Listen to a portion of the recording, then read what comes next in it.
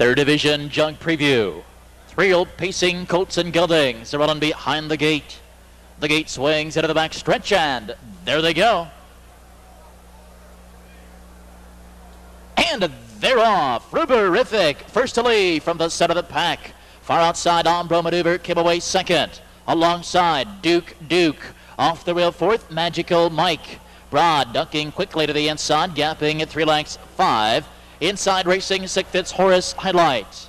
Along the rail, seventh as he moved through the upper turn, nearing that first quarter mile marker. It's Sombro Maneuver. The early trailer, Ambro Mustang. At the first jump, 26 and 3. And on the front, Sizer has Ruberific leading by a length and a half. Duke Duke at the guard spot is second. Here he comes! Magical Mike powering to the outside. And Magical Mike was fourth. Now third. Now second and coming on, and Magical Mike sweeping to take the lead. Ruberific on the inside is now second. Along the rail racing at three, Duke Duke. They're at the half. Again, 55 flat. And Broad first up on the outside. Losing the cover is now racing at three. Duke Duke on the inside is fourth. Horace Highlight gets the trip on the outside. He's second or fifth. Outside, racing at six. It's Water Tower. Alongside a seventh, Ambro Maneuver and Ambro Mustang.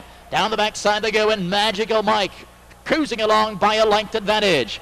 Broad of the outside is second. Inside, three, Ruberific, three quarters, 123 and two. Magical Mike has led since the half. He leads by a length. Broad of the outside is part second. Ruberific waiting for Racing Room and Duke Duke shuffling for Racing Room is fourth. Less than an eighth of a mile to go. Down the stretch they come. Magical Mike with the lead.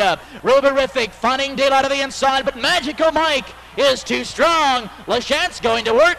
Magical Mike by three. 152 and one.